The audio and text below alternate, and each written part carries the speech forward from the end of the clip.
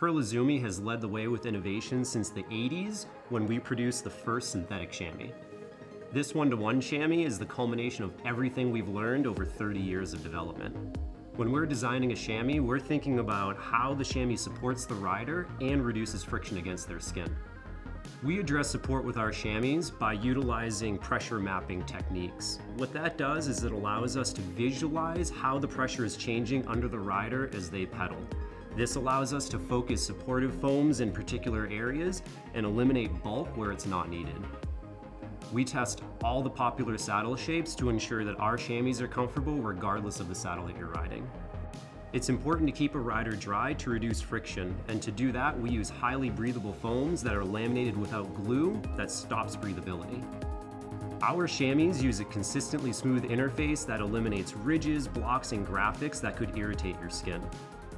We use highly stretchable materials that allow the chamois to move with you and not against you. We apply this level of engineering to all of our chamois.